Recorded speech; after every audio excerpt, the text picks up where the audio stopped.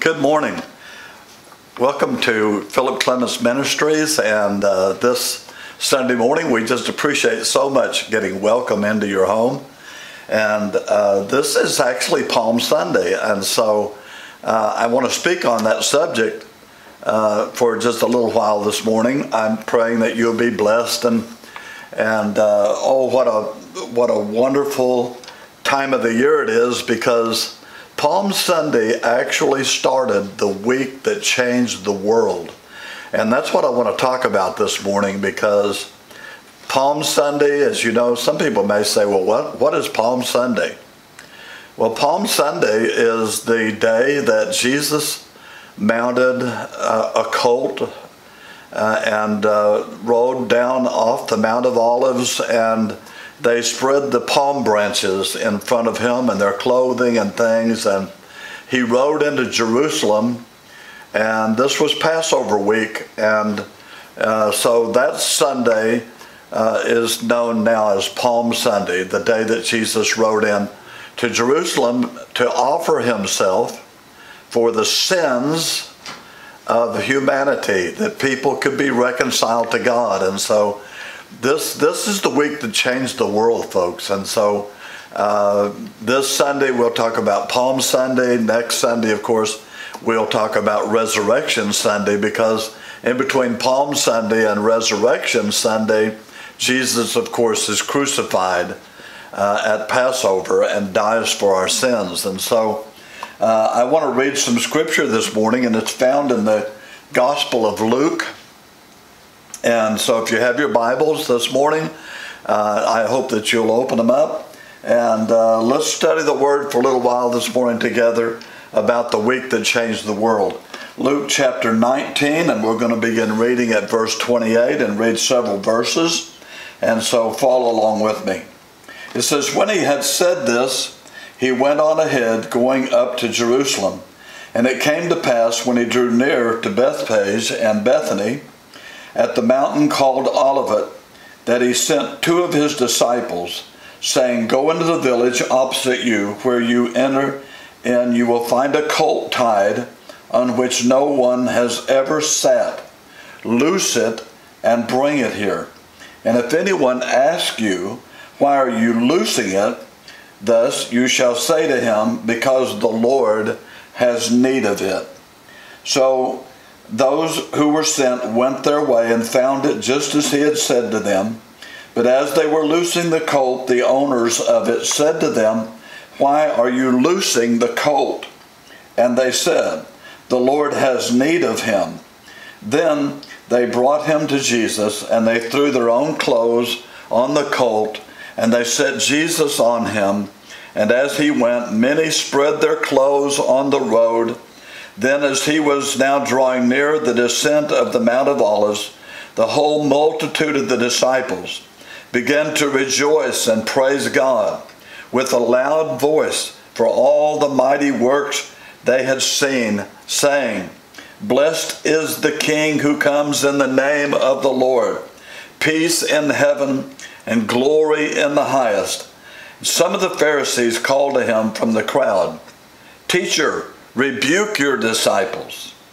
But he answered and said to them, I tell you that if these should keep silent, now this, I want you to notice this verse right here. He answered and said to them, I tell you that if these should keep silent, the stones would immediately cry out. Now, as he drew near, he saw the city and wept over it, saying, If you had known, even you, especially in this your day, the things that make for your peace, but now they're hidden from your eyes.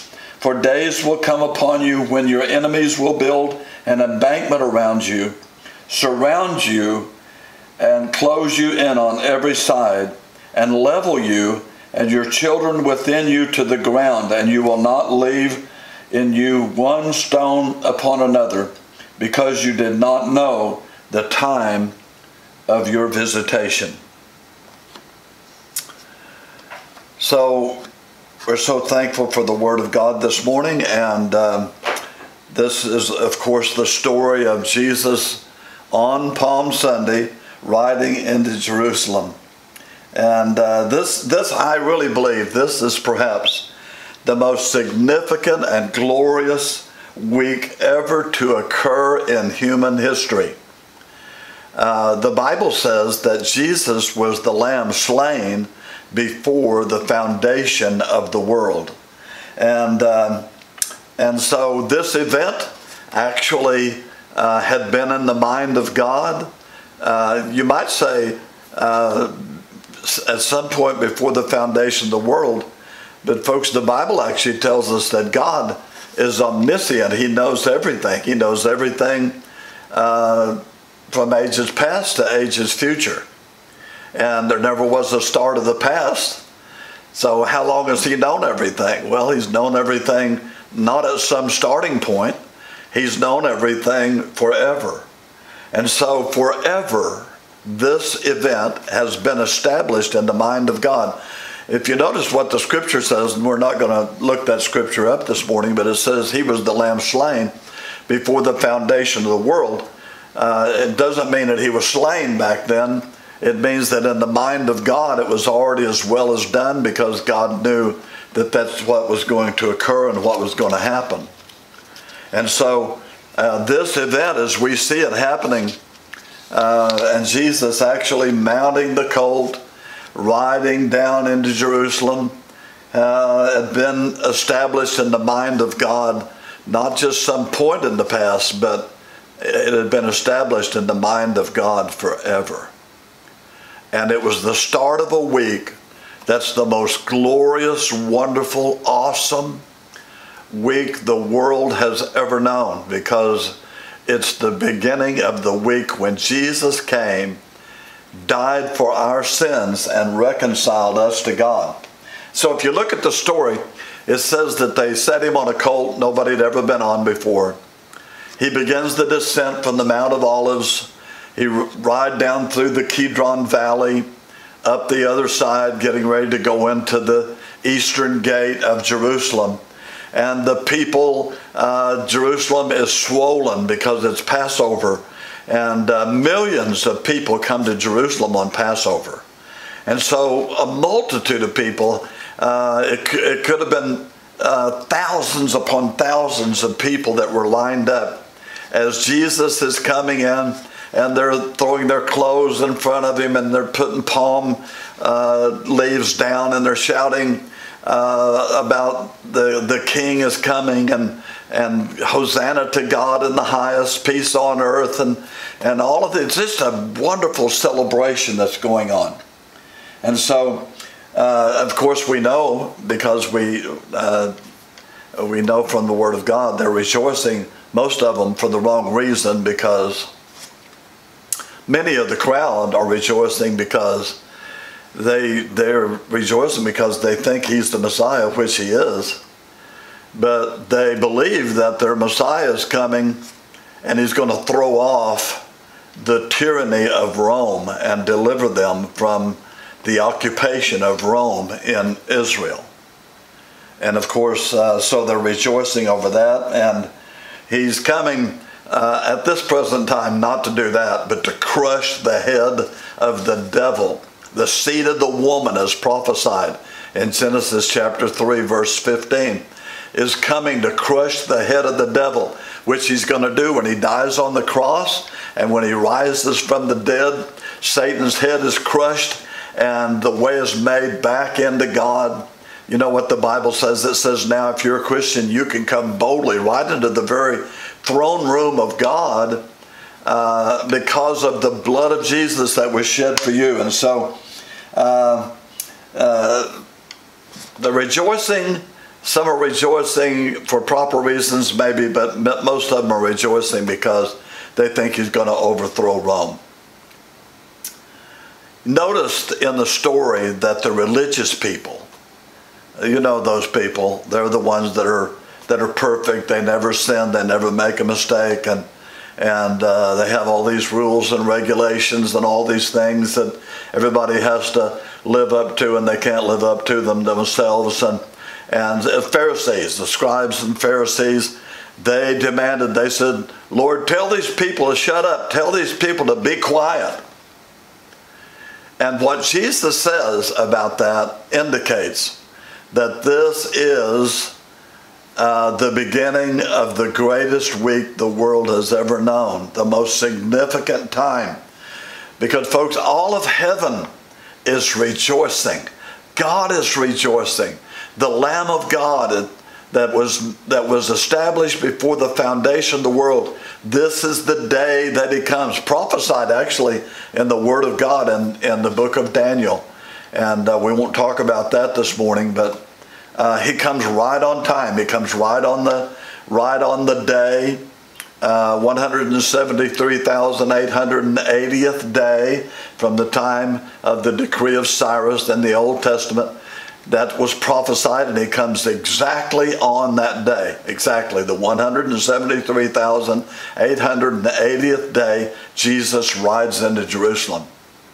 And it's a time of rejoicing. It's a time of rejoicing in heaven.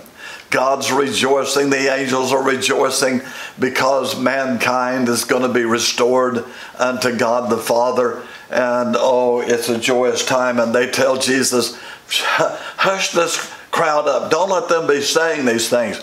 And Jesus says, Jesus says, listen, if they don't rejoice and give praise to God at this moment, the very stones would cry out to me. Oh, hallelujah. Now, saints of God, uh, there's, there's some things we can learn about that. I mean, what, what does, there's something that teaches us actually. And so, what is it? Uh, we can learn that we, we should uh, constantly be in praise and thanksgiving and worship to God. You say, well, how can I constantly do that? And, and I want to take just a moment because uh, this ministry that we're doing on video is, is predicated and, and done especially for the elderly that cannot get out and go to church. It's done especially for uh, this time of COVID 19 when we have many of you that are so concerned about COVID that you're not attending a place of worship where you're actually at a church service. And so this ministry is coming to you to help strengthen you, to feed you spiritually. And uh, but there's something about this. Uh, all we're getting in this time is the teaching of the Word of God. But praise and worship, which is what you actually are a participant in in a church service, if you're not attending a church service, you're not involved in praise and worship.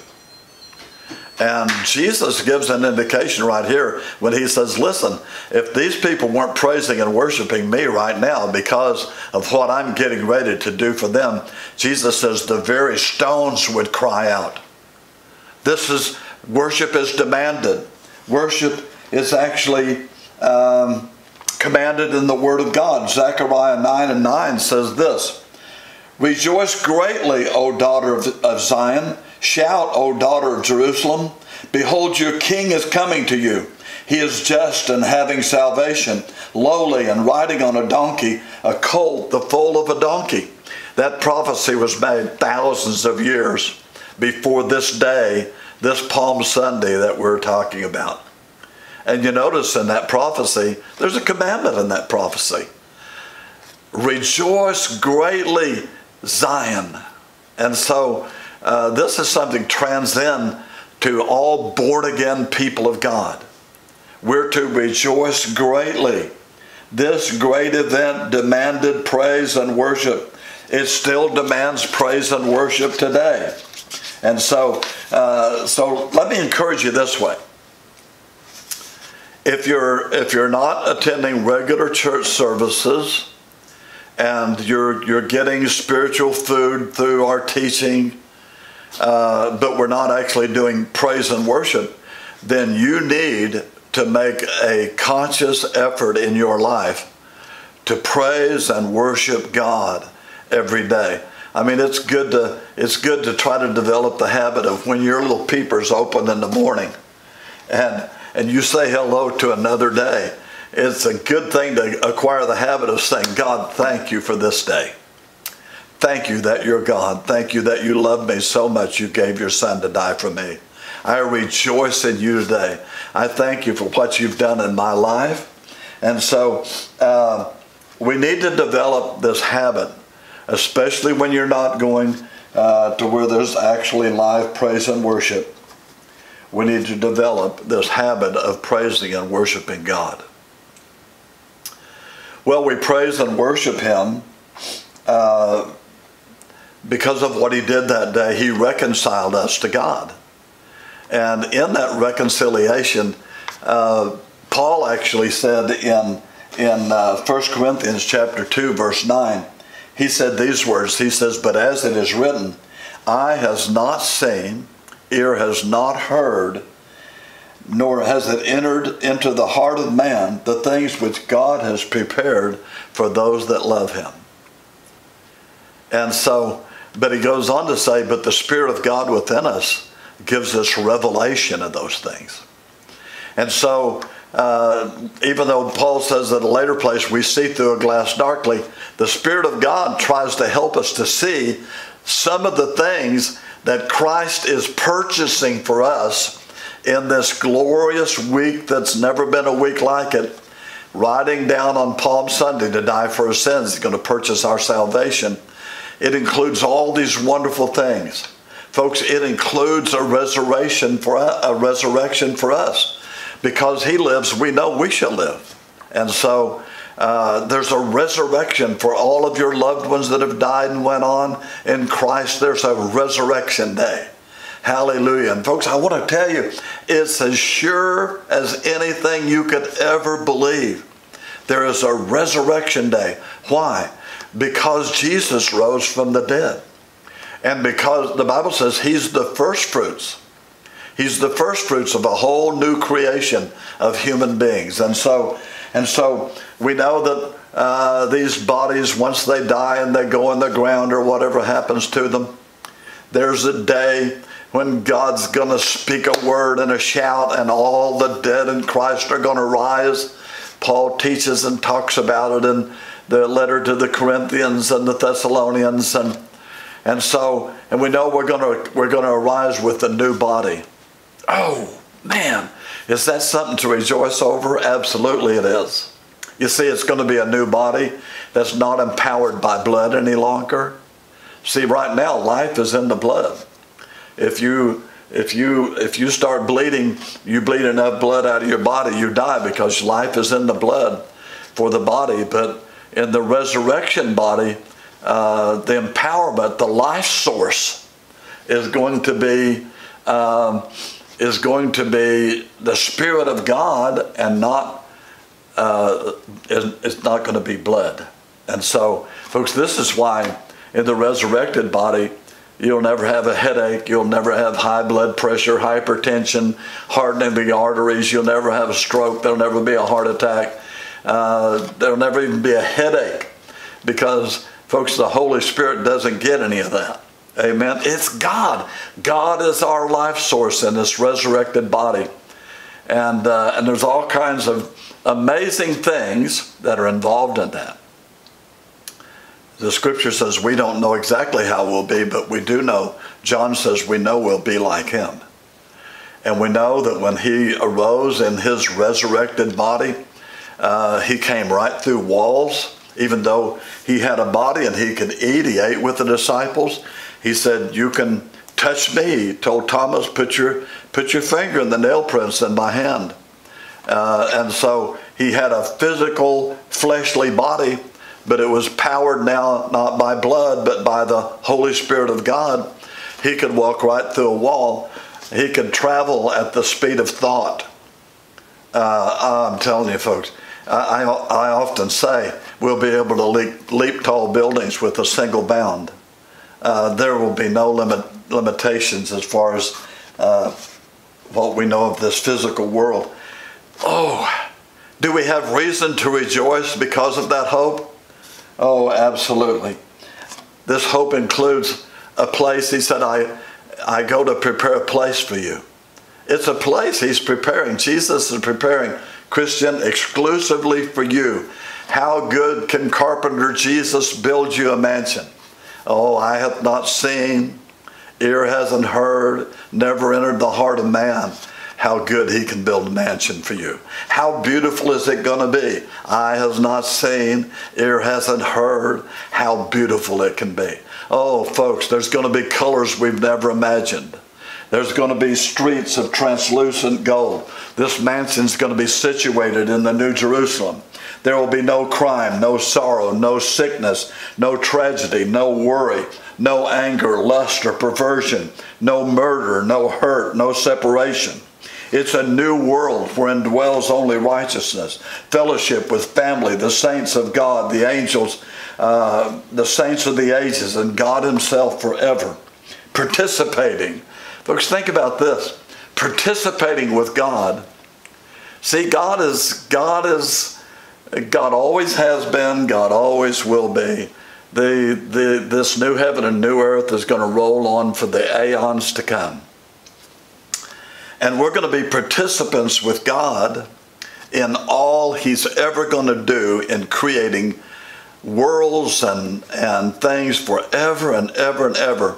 We're going to be a part of the eye hasn't seen, ear hasn't heard the, the things that God's prepared for those that love Him.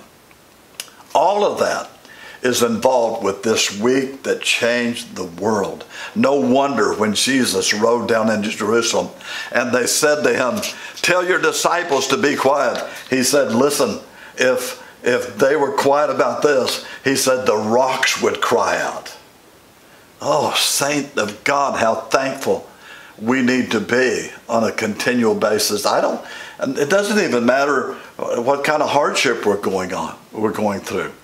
Oh, Folks, He's done wonderful things for us.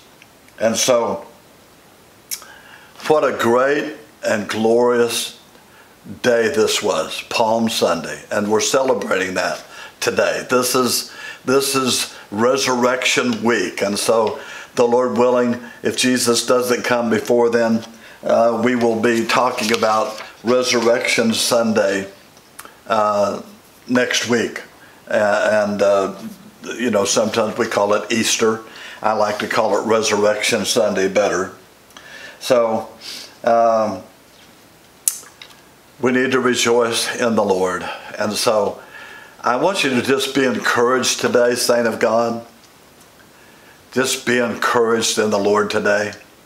Oh, he came and offered himself. This day that we're talking about today, as I told you, mentioned earlier, uh, it, it, was prophesied in the Word of God exactly what day it would be. Uh, 69 weeks of years from the decree of Cyrus, and uh, and we, we may talk about that a little bit more next Sunday. If you if you figure that out, 69 weeks of years at the Jewish 360 day uh, year uh, in the Jewish calendar, it figures out actually, and this is actually proven, uh, it figures out 173,880 days. And folks, I want to tell you that all the promises, the Bible says this, all the promises of God are yes and amen to you if you're a child of God. Everything he promises, the new body, the new mansion in heaven, the new heaven, the new earth, the new Jerusalem, the ages to come where you'll never die, never have a pain, and, uh, and, and just be with family and there'll never be a separation. All these promises are yes and amen. And you kind of you can kind of see that if you look at this promise of when uh, when this day of Palm Sunday is going to happen, and it says it's going to be. This is like uh, over 2,000 years before it actually occurs, D uh, Daniel prophesies and says he's going to come and ride on the, the, the donkey's colt on the 173,880th day from the time Cyrus makes his decree to rebuild Jerusalem. And on the 173,880th day, Jesus tops the rise pauses on the crest of the Mount of Olives. Thousands of people are rooting and cheering, throwing the palm branches down It's Palm Sunday, the day God prophesied 2,000 years before. Exactly to the day. Not one day before, not one day after. Exactly to the day. This is how exactly God is committed to every promise of His Word. All of it. So, saint of God, if you're sick in your body this morning, the Bible says there's a day when your healing's coming. If you're, if you're worried, if you're stressed, uh, the Bible says that He'll make it work for your good. Oh, stand upon His promises, child of God. Rejoice in Him.